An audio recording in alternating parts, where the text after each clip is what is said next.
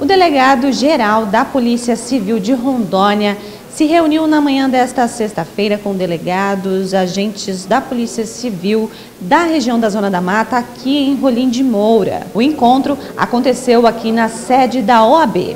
Na realidade, são é, visitas programadas. Eu ontem estive em Vilena, onde nós inauguramos a Delegacia de Homicídios e também conversamos com servidores, todos eles. É, isso é necessário para que é, os servidores entendam o que a direção-geral, o que nós estamos fazendo, o que é, é, o governo, o que a SESDEC está implementando no sentido de melhorarmos a segurança pública.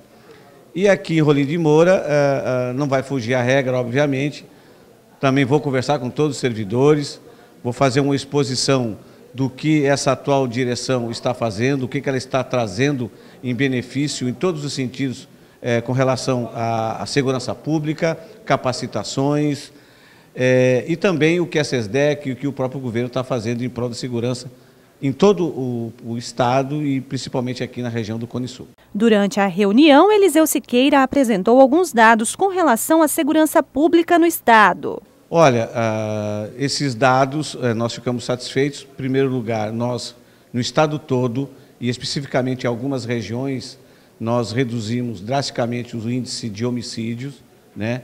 temos problemas com relação ao, ao aumento de furto e roubo, e é por isso também que eu, que eu venho até essas as regionais, no sentido de que ah, os delegados é, façam operações que venham a diminuir é, é, os crimes contra o patrimônio, furto e roubo, que hoje ele está muito alarmante. Obviamente que não, é, o que acontece em Rondônia não foge à regra em todo o país, onde há um altíssimo índice de furto e roubo ocorrendo. E nós temos que combater isso aí.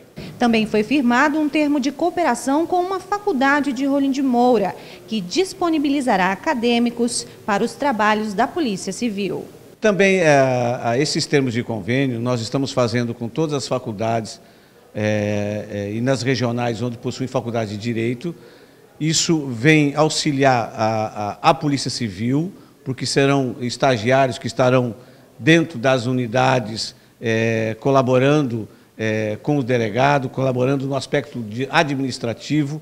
São, são, são alunos do direito, são alunos de psicologia, são alunos de é, assistência social, que nós precisamos muito. E hoje, esses cargos de psicólogo e assistência social, nós não temos esses cargos na, na, na Polícia Civil. Então, é, isso é uma matriz para que agora, com a alteração da 76, nós venhamos a colocar é, nessa lei de que precisamos criar esses cargos de psicólogo e assistente social, principalmente para eles atenderem na, nas delegacias das mulheres, né?